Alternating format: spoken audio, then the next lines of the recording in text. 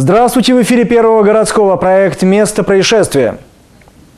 В студии Михаил Вагин. Смотрите в этом выпуске. Невнимательная автоледи. 25-летняя девушка получила травмы в ДТП на улице Советской в Нововятском районе. Топил печь без дверцы. Следственный комитет возбудил уголовное дело по факту пожара, в котором погибли два человека. Огород под водой. Вот я выхожу из дома. Везде вода. Все крайне печально. На улице Ульяновской затопило придорожные частные дома.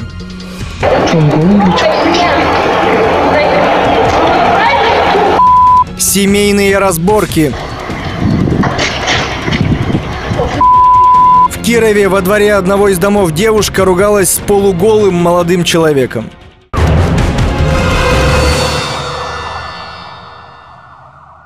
27-летняя девушка получила травмы в ДТП на улице Советской в Нововятском районе. Ее сбила 35-летняя женщина на иномарке «Опель». Подробности в рубрике «Обзор аварии» материал подготовил Сергей Пичугин. По данным госавтоинспекции, авария произошла во вторник в 8 утра у дома 14 по улице Советской. 35-летняя женщина не заметила пешехода. Женщина, управлявшая автомашиной «Опель», совершила наезд на другую женщину 89 -го года рождения, которая переходила проезжую часть по нерегулируемому пешеходному переходу. В результате пешеход получил травмы, и ей была оказана медицинская помощь, после чего госпитализация не потребовалась. На улице Луганской водитель «Шевроле» хотел повернуть во двор дома 2А, но не пропустил встречный Kia Rio. Автомобили столкнулись, получили повреждения. После удара «Шевроле» отбросило на дерево. Пострадавших в ДТП нет. Напротив дома 12 по улице Ломоносова попали в аварию «Лада Приора» и КАМАЗ. Сотрудники ДПС замерили происшествие и предложили его участникам приехать в ГИБДД. Однако водители этого не сделали. Видимо, о сумме компенсации договорились между собой. Не приехали в комнату оформления ДТП и участники аварии на улице Ленина. Там столкнулись «Газели» Mitsubishi Lancer. Обе машины получили незначительные повреждения. В Орловском районе водитель грузового автомобиля ГАЗ выезжал со второстепенной дороги на федеральную трассу Вятка и не пропустил Киа. К счастью, удар получился не сильным, никто не пострадал. Сергей Пичугин, место происшествия.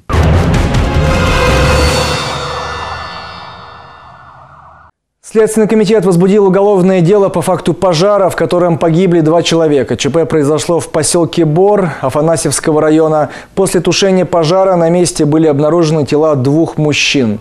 Все подробности в нашей традиционной рубрике «Сводка». По версии следствия, в доме проживал 57-летний местный алкоголик. Официально он нигде не работал. В последние две недели с ним вместе жил его 50-летний собутыльник. В ходе проверки выяснилось, что хозяин квартиры перед трагедией сдал в металлолом печную дверь. На вырученные деньги купил спиртное. Печь продолжал топить также, но уже без дверцы. В итоге в полночь произошел пожар, дом сгорел вместе с двумя жильцами. Следователи возбудили уголовное дело по статье «Причинение смерти по неосторожности». Сейчас по этому факту проводится проверка. Вот я выхожу из дома. Везде вода.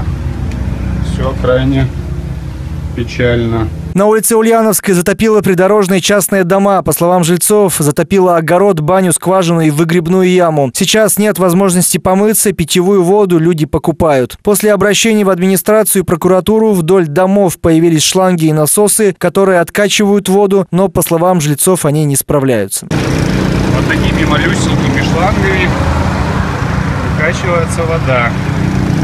Без толку.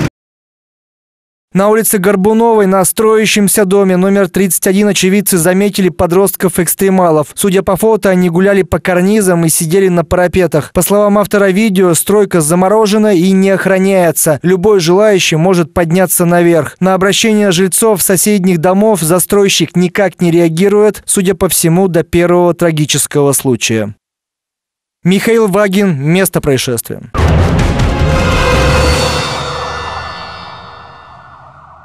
Сейчас прервемся на короткую рекламу, она пройдет быстро, не переключайтесь и смотрите сразу после нее. Можно ли бутылочку водки заказать? Да, 500 рублей будет вместе с доставкой.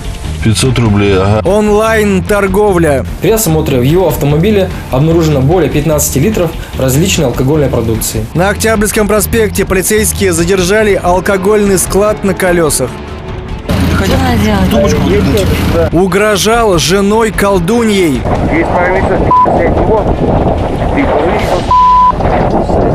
Пообещал инспекторам проблемы сексуального характера муж пьяной женщины-водителя. Ехал по встречной.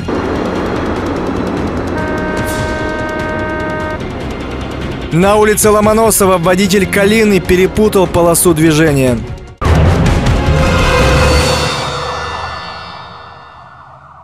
Компания «Агат» расширяет границы. Выкупим любой автомобиль. Предложим оптимальную стоимость выкупа. Все автомобили проходят тщательную диагностику и предпродажную подготовку. Дадим исчерпывающую информацию по каждому автомобилю, проведем повторный осмотр и в дальнейшем возьмем на обслуживание ваш новый автомобиль с пробегом. «Агат Профи». Автомобили с пробегом. Продажа, обмен, комиссия, выкуп автомобилей, в том числе кредитных. Гарантия. Дзержинского 110. Телефон 208 300.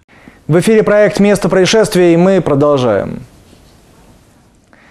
На Октябрьском проспекте полицейские задержали алкогольный склад на колесах. Оперативники провели контрольную закупку в интернете. Они нашли номер телефона, по которому можно было заказать водку и пиво в любую точку Кирова. А затем сделали заказ. Все подробности в нашем следующем материале. На звонок оперативников ответил молодой человек. Можно ли бутылочку водки заказать? Да, 500 рублей будет вместе с доставкой.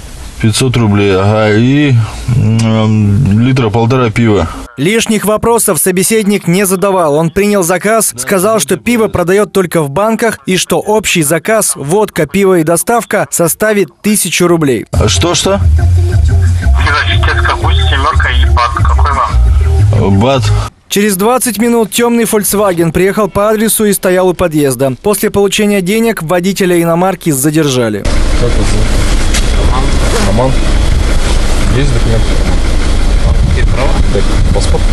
Роман Игоревич, в курсе, что у нас дистанционная продажа алкоголя запрещена? В курсе? Торговец Роман не стал ничего отрицать. Показал полицейским весь свой алкогольный склад.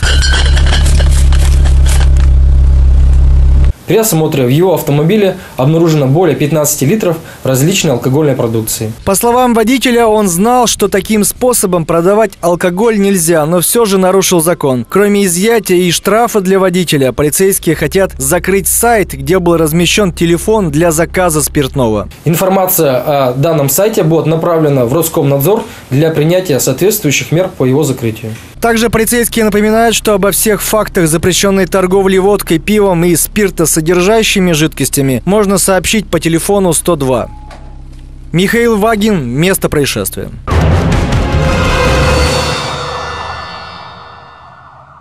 В эфире проект «Место происшествия» и мы продолжаем. Пообещал инспекторам проблемы сексуального характера. Муж пьяной женщины-водителя. Ее на автомобиле «Рено Каптюр» задержали полицейские на Советском тракте. По словам мужчины, ее супруга ведунья. И в скором времени у всех участников задержания ее любимой, а это активисты ночного патруля и сотрудники ДПС и журналист, начнутся проблемы в половой жизни. Якобы стоит только дождаться смены фазы Луны, оценил масштабы угрозы наш корреспондент Сергей Пичугин. Задержанной Светлане инспекторы предложили пройти тест на алкоголь. Что она делает? Глубокий вдох и дуйте, да, пока вам скажут. Вот так. Чисто, да. Я из упаковки ее достал. Дуем, дуем, дуем, дуем, дуем, дуем, дуем, дуем. Первым. На месте задержания был и супруг Светланы. Правда, сначала мужчина представился иначе. А ты кто будешь? Я корреспондент, я представился. Я тоже корреспондент. А, ну все прекрасно. А вы с какого телеканала? А? Вы с какого телеканала? С первого. Защитник водителя Рено настолько хотел себя проявить, что чуть не наговорил на уголовную статью. Что ты, не бил или что? 19 статья Уголовного кодекса оскорбление А за что? полиции при выполнении своих обязанностей. Если еще раз кого-то оскорбите, вы едете. Тем временем Светлана прошла экспертизу. Результат для дамы, мягко говоря, не маленький, превышает норму больше, чем в 7 раз. Установлено состояние алкогольного опьянения. У вас установлено состояние опьянения. Вы ехали пьяный за рулем. Нет. А как это все произошло? Почему вас здесь держат в патрульной машине, если вы говорите, что вы не ехали? Дмитрий Александрович, почему меня держат в патрульной машине?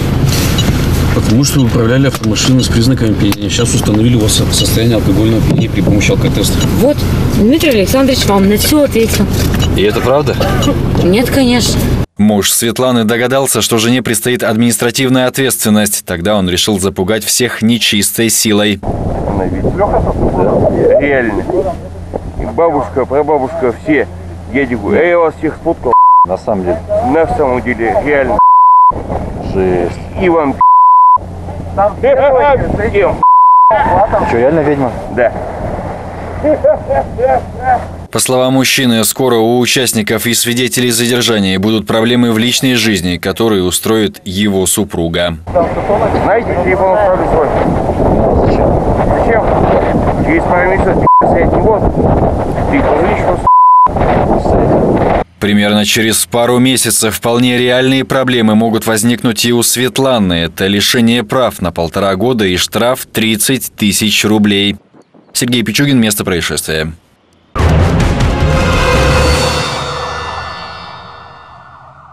Кирове во дворе камера запечатлела семейную разборку. Об этом и других дорожных происшествиях в рубрике «Видеорегистратор».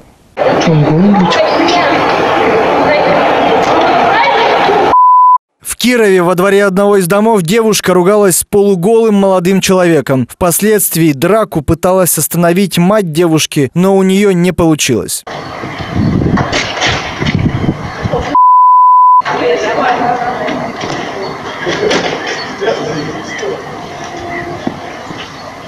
Что стало причиной потасовки, автор видео не уточнил. Скорее всего, молодой человек явно провинился перед своей возлюбленной.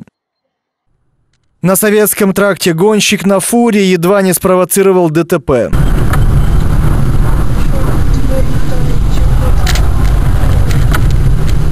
Нарушитель явно не рассчитал маневр, автору видео пришлось затормозить и съехать на обочину. В Кирово-Чепецке наглый водитель Ауди проехал на красный сигнал светофора.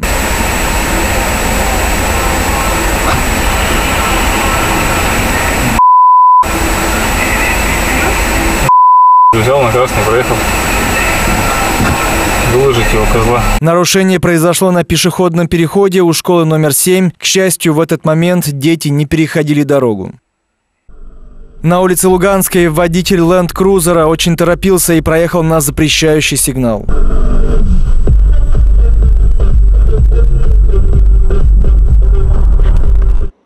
Промчался на красный сигнал и не пропустил пешехода водитель «Тойоты» на улице Ленина.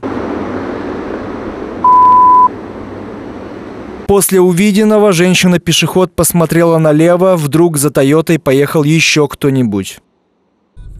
На улице Московской троллейбус чуть не въехал в машину с камерой.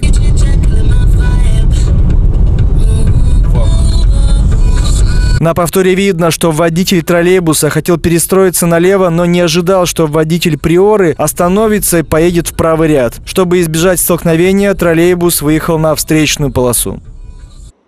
На улице Ломоносова водитель Калины перепутал полосу движения.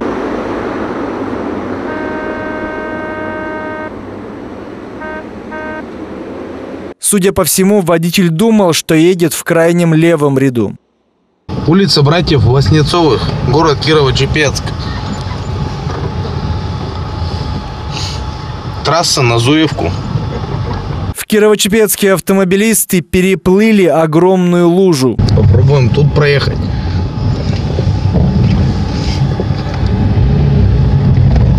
Ой. Давай, давай. Михаил Вагин. Место происшествия.